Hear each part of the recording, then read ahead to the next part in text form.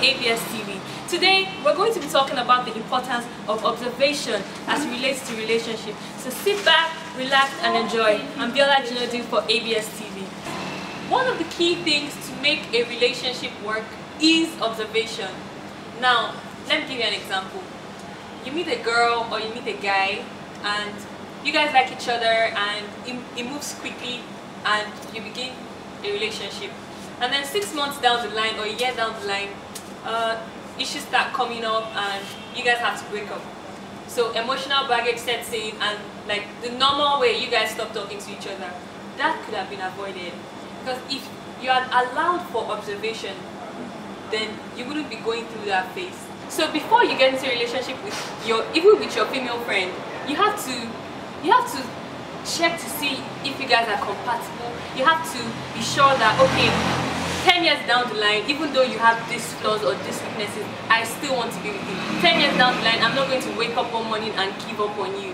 So if you're a girl or if you're a guy even if it's relationships with the same gender like if i'm going to get to a relation if i'm going to pick a friend i'd rather pick a friend that i know that understands me and she and i also understand her.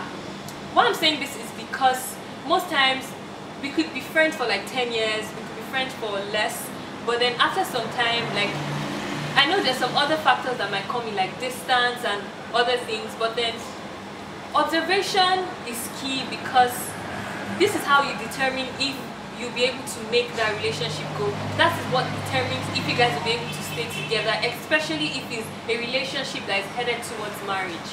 So next time, if you're about to get into a relationship, right now, if you're listening to me and you're thinking about that guy or you're thinking about that girl that you really like and you're looking at taking things to another level, calm down. Look at the character traits, look at what look at what you've noticed about the person. Look at observe it, like weigh the things you like and the things you don't like and decide for yourself because if you go ahead and you get married and five years later you can't deal with the person, that's not going to be cool because it's going to be emotional baggage. So observing is important and um, I want all of us to try and do that before we get into relationships. Next week I'll be bringing something else to you. So make sure you look out for this video next Tuesday. Ensure you subscribe to our channel you like it and you share with your friends. See you next time. Bye